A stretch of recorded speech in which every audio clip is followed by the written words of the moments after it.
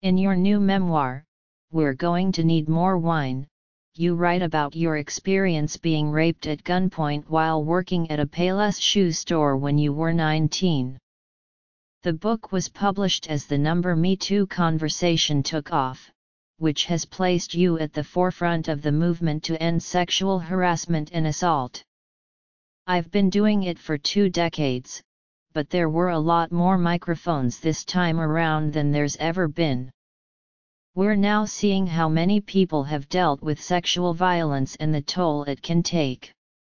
All of these disclosures from Hollywood to farm workers to the restaurant industry to television to music to academia show that this is so widespread and so many people's lives have been derailed.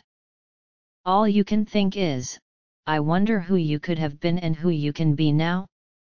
And a lot of those people are waiting for that conversation or for somebody to tell them that they can be anything, that it does not define you. It seems as if the book was spawned by a responsibility to use your platform to educate others. What has the feedback been like? Over the last few years, I've started feeling worthy of my life, and the more I did, the more I realized that, yeah, maybe I can share this.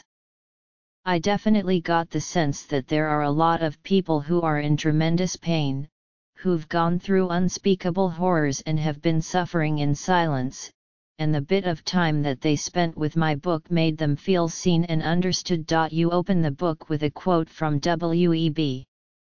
Du Bois about the double consciousness that comes with being black in America, then describe having to constantly code switch as a smart, self-conscious black girl growing up in the very white, conformist California suburb of Pleasanton.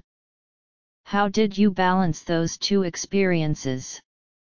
A lot of people who experience a dual consciousness have to pretend and stifle and suppress their real feelings. You start to condition yourself, trying to figure out what the right voice is, the right tone, the right word. There are millions of actors, they're just not in Hollywood. It's exhausting, and it can fill you with rage. The book is largely about self-identity and survival. You write a lot about that basic human desire to be seen and recognized. Is that why you got into acting? I wish I had that cute story where I said something like, and then I saw Miracle on 34th Street, and I knew this was the only thing I could do. I got into acting because I wanted to be chosen. When you're insecure, being chosen, whether that be by a man or by a company or by a production, by the right group of friends or the right community, is like being embraced. I was working at the bookstore at UCLA, making $6.15 an hour after three raises, and when an agent asked if I would ever consider modeling, the idea that someone might choose me based on what I look like, for an insecure person, was unbelievable.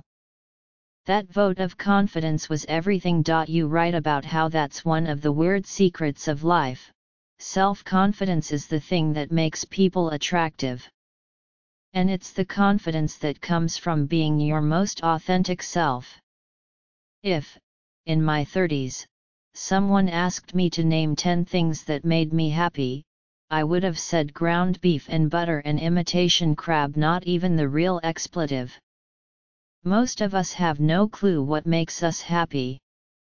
We're always super critical of our spouses or our friends or our coworkers for not magically knowing how to be our friend or how to love us.